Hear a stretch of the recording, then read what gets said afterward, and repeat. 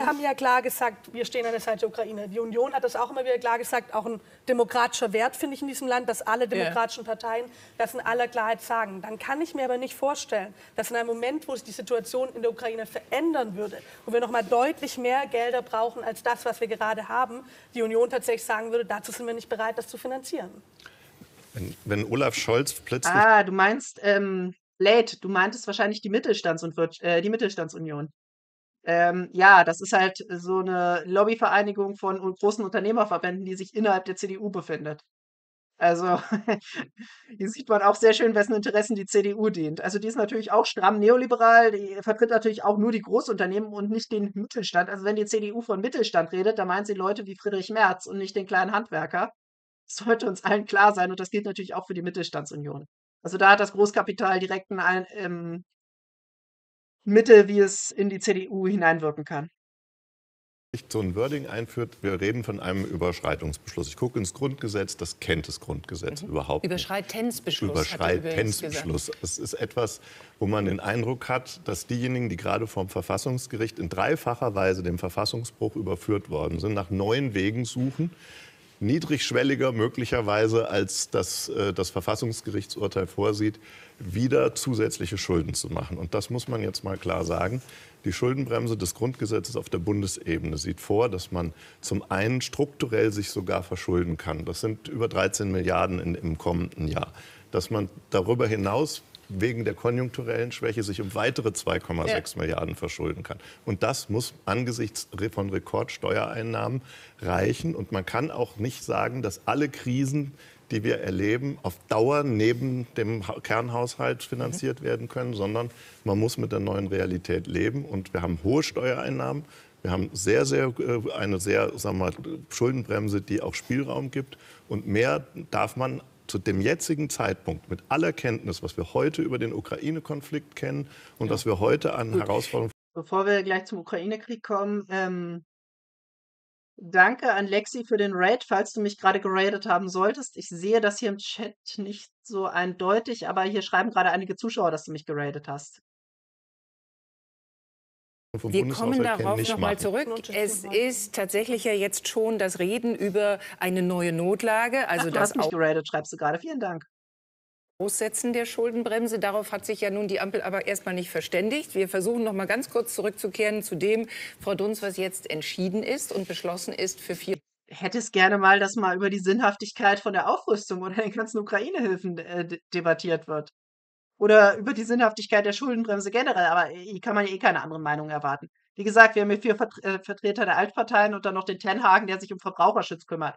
Ist sicherlich auch wichtig in so einer äh, Diskussionsrunde, aber falsch aufgehoben. Da bräuchte man einen Makroökonomen, da bräuchte man jemanden wie Heiner Flassbeck, der da mal mitdiskutieren würde. 24. Da wird es erstmal diese CO2-Preiserhöhung geben.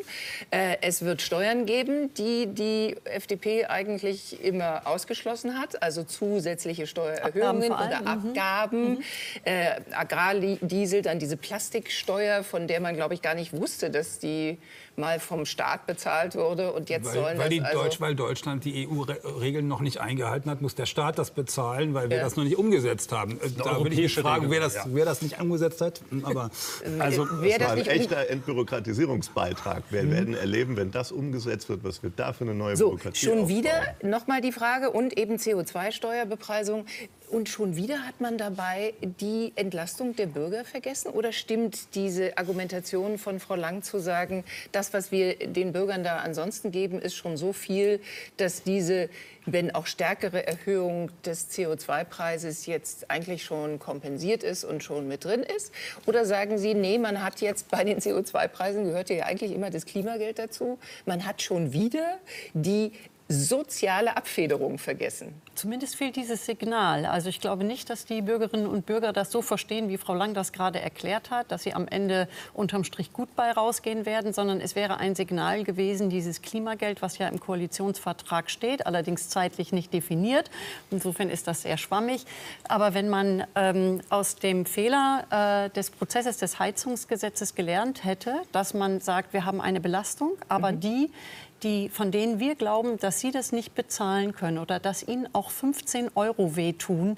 Äh, sie haben gerade so pauschal gesagt, 15 Euro mehr Sprit, das ist ja immer ganz, äh, kommt ja immer ganz drauf an, ja, äh, wer ja. jeder. Ja, aber das ist ja, das kann man doch überhaupt nicht verallgemeinern. Jedenfalls ein Signal zu setzen, dass diese Menschen entlastet werden. Und dieses Klimageld ist so gut wie weg. Also ich habe jetzt nicht in der Koalition gehört, äh, dass man das ernsthaft versucht, nee. bis, 19, äh, bis 2025 äh, noch in Gang zu setzen. Und das wäre zumindest ein Signal gewesen, auf, an gleicher Stelle oder zu gleicher Zeit zu entlasten. Gleiche Frage. Ich mich nicht mehr auf den Platz, wenn Sie, ich das Sie, sagen darf, Frau Illner. Sie müssen aber noch sitzen bleiben. Ja, weil nach dem, was, was Herr Braun gerade gesagt hat. Nicht noch mal zur Ukraine, da kommen nee, wir ich will nicht gar nicht zur Ukraine. Okay. Ich will zu der Frage B und Entlastung was sagen. Okay. Weil das wirklich wichtig ist. Ähm, wir haben bereits beschlossen für den kommenden Haushalt. Nicht noch mal aufzählen, nein, was Sie alles getan nein, haben. Hat nein, ja Frau Lang schon doch, Frau Illner, das ist deshalb wichtig, weil der Eindruck entstehen könnte, dass hier übermäßig belastet wird. Und das exakte Gegenteil ist richtig. Ja. 15 Wir Milliarden Euro Entlastung. 15, nein, ich, ich will einfach die Zahlen darstellen, mhm. weil ich glaube, wenn man so, so virtuell diskutiert, dann kann das kein Zuschauer nachvollziehen. 15 Milliarden Euro für die arbeitende Mitte. Ja. 6 Milliarden Euro für das Wachstumschancengesetz, was bedauerlicherweise zurzeit noch, ich hoffe, dass... Also, dieses ganze, äh, dass diesem Theater von Christian Dürr auch keiner äh, widerspricht, das zeigt erstmal, was für eine inkompetente Journalistin äh, die Maybrit Illner ist. Und zum anderen, ja, dass hier nur Vertreter der Altparteien sitzen und sich diese Altparteien wirklich keinem relevanten Belang unterscheiden. Einkommen bis 50.000 Euro, sowohl von Alleinerziehenden als auch von Singlehaushalten, werden stärker belastet.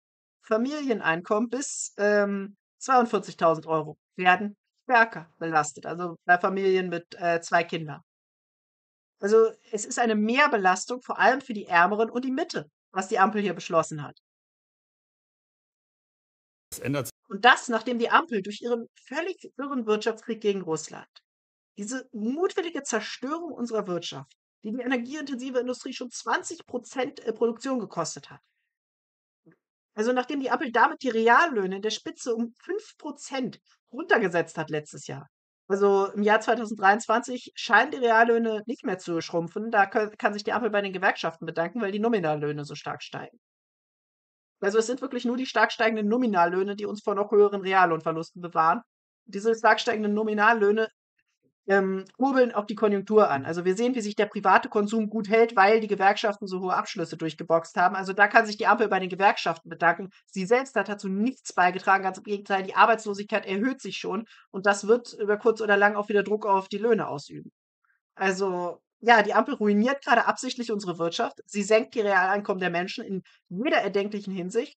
Und dann erzählt uns Christian Dürr hier irgendeinen Schwachsinn von Entlastungen sich von der Union im Bundesrat mhm. aufgehalten wird, damit mehr investiert wird in Deutschland. Und weitere 3 Milliarden Euro.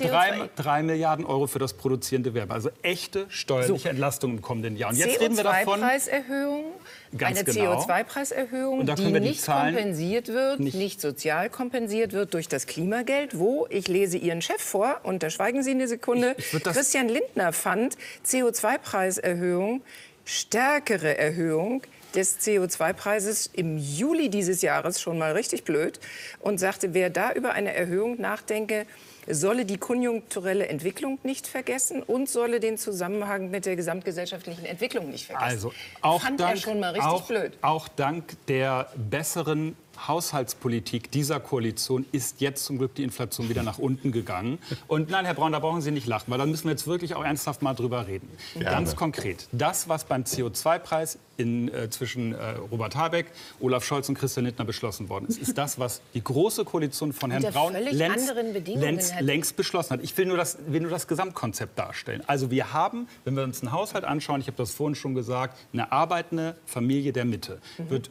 über 500 Euro steuerlich entlastet entlastet und hat Mehrbelastung von etwa 100 Euro insgesamt beim CO2. Also nur beim CO2-Preis, okay, ja. Aber dann äh, nimmt die ganzen anderen Mehrbelastungen raus.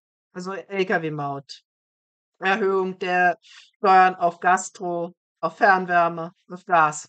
All das nimmt Dürr dann hier raus. Also das ist eine Milchmädchenrechnung, die er uns hier gerade präsentiert, um uns zu manipulieren. Und da ähm, korrigiert ihn natürlich auch niemand hier aus dieser Runde. Selbstverständlich nicht. Was wiederum zeigt, dass das hier ein geschlossener medialpolitischer Block ist. Dass die alle unter einer Decke stecken, dass die alle die gleichen Interessen vertreten. Oder fast die gleichen.